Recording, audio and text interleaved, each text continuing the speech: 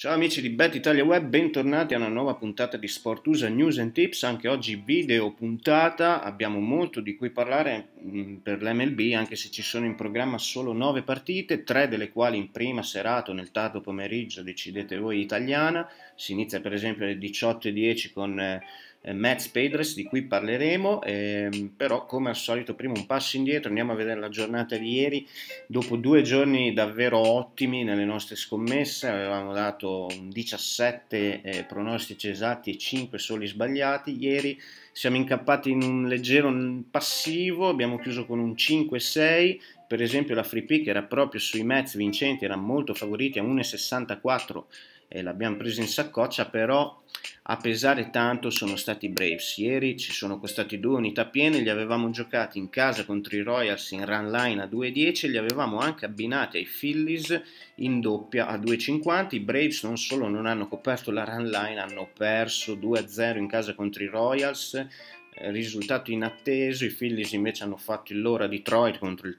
pessimo Zimmerman eh, quindi leggero negativo. Oggi vi darò una free pick e c'entrano proprio i caldissimi Royals di questo periodo e ho analizzato anche 5 partite interessanti con alcuni spunti. Vi ricordo come sempre, lo dico adesso e non lo ripeto più,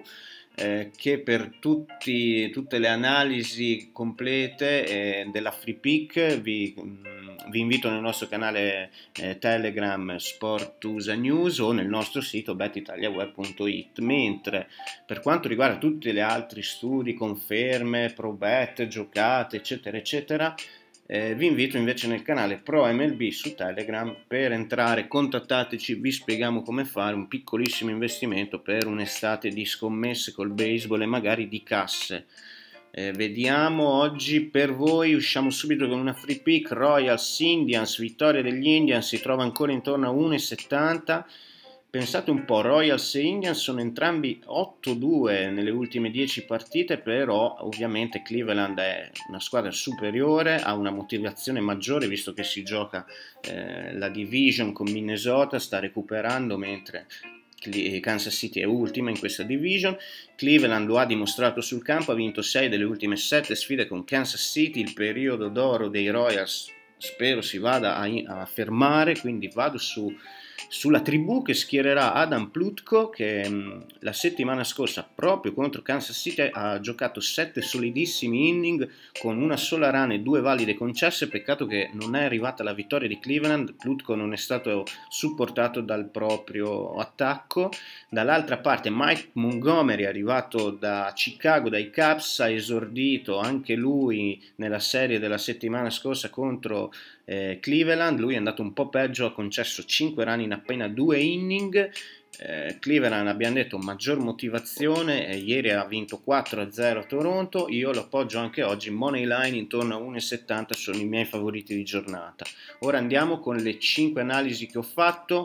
partiamo dalla, proprio dalla partita delle 18.10, Mets Padres, Mets nettamente favoriti come vedete dalle quote a 1,47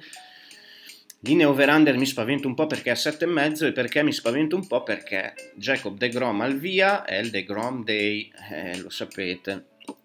eh, under, ovvero under nei primi 5 inning, che è la giocata calda che facciamo sempre con De Grom. Ora, oggi bisognerà vedere, io spero di avere una linea in F5 almeno sulle 4 run. Dicevamo De Grom arriva da una prestazione contro San Francisco in cui ha concesso 0 run, 3 valide ha messo a segno 10 strikeout in 7 inning, non ha concesso più di 2 run negli ultimi 11 start, questo non è vero, ho sbagliato a scrivere perché contro Atlanta ne ha concesse 3 unica volta negli ultimi 11 start in cui ha concesso più di due run agli avversari, un, si traduce in un 0,96 era.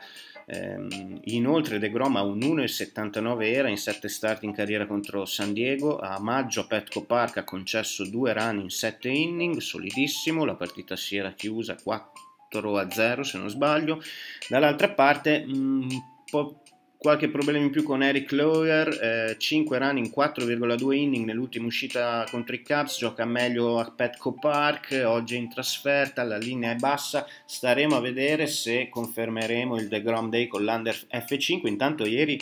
è entrato il BBR Day a proposito di pitcher su cui con trend importanti intorno all'80% o superiore di under F5 nelle ultime partenze. BBR lo abbiamo scommesso ieri eh, con i già citati Indians che hanno vinto 4-0 a Toronto e ci ha fatto incassare con l'under F5. Vedremo se confermare quando uscirà la linea anche questo. Andiamo a Washington perché rientra Mad Max, Max Scherzer, prima dell'infortunio aveva giocato 9 start abbastanza dominanti, 7-0 con 0,84 era e 94 strikeout messi a segno. Dall'altra parte il confronto è impietoso perché mm, torna Jeff Hoffman per i Rockies, richiamato dalla AAA, l'ultimo start di giugno, in carriera è 0-2 con 5,73 era contro Washington, che dire, i Rockies sono in un, caduti in un crollo totale, sono 1-9 nelle ultime 10 partite, 3-16 nelle ultime 19, solo i Mets hanno perso più partite di Colorado in trasferta in National League, ovvero 31 sconfitte per i Rockies. Ovviamente oggi la quota dei National è davvero bassa, 1,34, i Rockies si giocano a 3,35. Il big match di giornata è però un altro ed è quello di Boston, Red Sox Yankees. Se non sbaglio, l'ultima volta che si sono affrontate erano alle London Series, lo spettacolo delle London Series anche oggi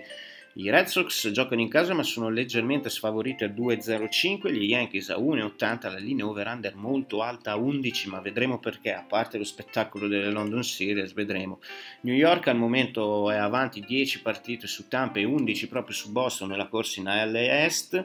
Oggi partirà Masashiro Tanaka che è imbattuto da 7 start, anche se non è stato proprio solidissimo. Inoltre ehm, 8-4 con 4-82 era contro, in carriera contro Boston. Il giapponese ha concesso però ben 6 run in 2,2 inning il mese scorso contro i Red Sox. Per Boston ci sarà però Rick Porcello che ha concesso 6 run e 11 valide in 5 inning a Baltimore, davvero pessimo. Porcello è 10,57 era negli ultimi 5 start.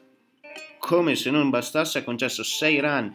in eh, 0,1 inning a fine giugno contro gli Yankees. Ecco perché è spiegata la linea così alta tra Tanaka e Porcello in questa sfida con du- i due migliori attacchi della MLB come run segnate. Gli Yankees sono arrivati a produrne 588, i Red Sox sono subito dietro a 582, quindi ecco spiegata la linea alta. Un altro conto sarà vedere se giocare effettivamente o meno questo under.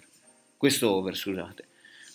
Passiamo a Chicago, White Sox Twins, ne voglio parlare perché partono due interessanti pitcher, i White Sox partiranno con Lucas Giolito, eh, ha concesso una run in 6,2 inning nell'ultima uscita a Tampa, rimane il, il quarto miglior pitcher come rendimento nelle scommesse,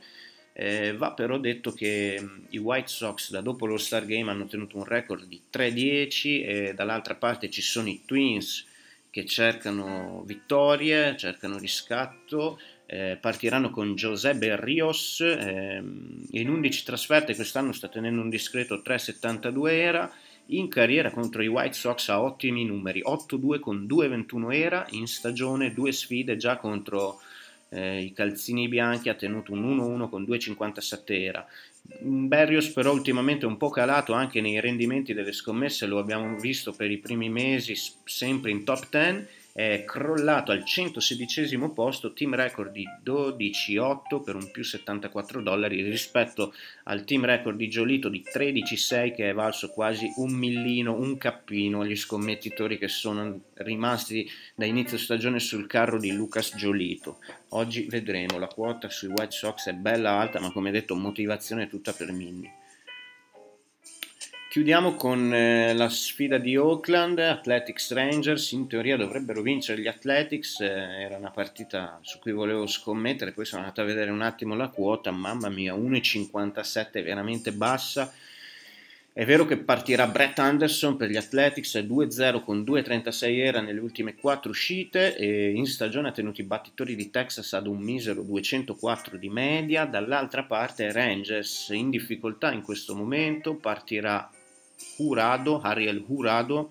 che è 03831 era questo mese. Jurado ha concesso 16 rane e 24 valide nelle ultime 4 uscite per un totale di poco più di 17 inning. I numeri tremendi di Jurado non finiscono qui perché in due sfide lo scorso anno contro Oakland ha tenuto un 12,79 era. Eh, in attacco però mh, note poco positive per entrambe, per esempio Texas, il, il, leader degli home run, 22 fuori campo, Joe Gallo non dovrebbe essere in campo, mentre per gli Athletics Chris Davis non è in un buon momento, è 1-16 nelle ultime 4 partite in battuta e in stagione contro il Texas ha sempre faticato con un 6-37. Io vi ringrazio dell'attenzione anche oggi, speriamo di sbancare. Mh, come al solito veniteci a trovare nei nostri canali Telegram, questo per esempio Sport USA News è il canale eh, gratuito dove mettiamo le, le, nostre free pick, le notizie più importanti, le statistiche, tutti i nostri report, le giocate di Morfeo in over eccetera eccetera eccetera. Quindi io vi ringrazio, buone scommesse, buona giornata a tutti e puntate sempre con la testa, ciao!